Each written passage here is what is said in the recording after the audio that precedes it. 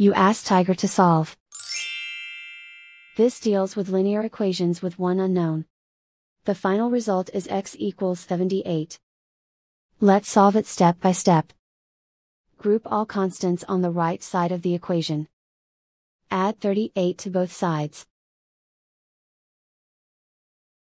Group like terms.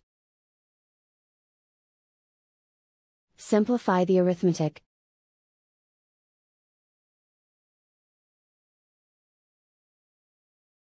And so the final result is x equals 78.